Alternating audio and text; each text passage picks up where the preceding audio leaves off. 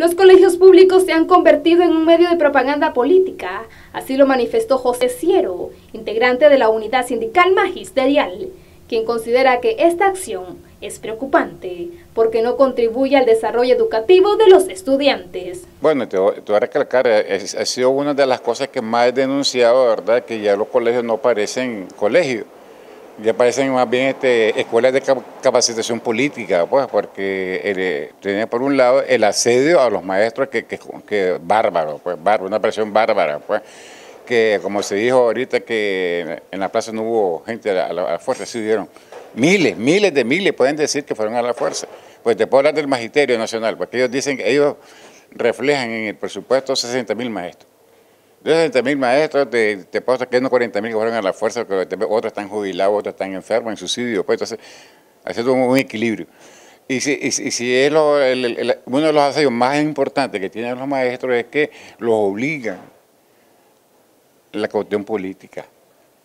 Y entonces el maestro es un profesional, un maestro que pasa por las universidades, aunque, aunque no hemos sido calificados como profesionales, pero realmente somos profesionales, vamos a las universidades y tenemos, logramos una carrera y aquí ahora el, currículum que te mandan es político, no es un currículum profesional para el desarrollo de este país. Pues no saben que los maestros somos constructores de ciudadanía y, no, somos eh, capacitaciones políticas. Pues no. El educador también se refirió sobre el día 23 de julio de 1959, cuando cuatro estudiantes fueron asesinados por la Guardia Nacional. En ese momento fue duro, yo, yo estaba joven todavía, estaba chavalo, pues unos 13 años más o menos, y, fue duro.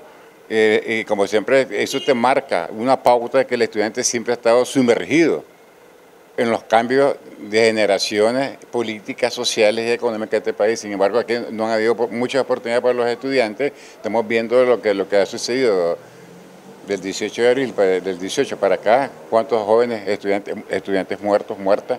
Se habla de, de muchas estudiantes violentados sus derechos eh, en prisiones.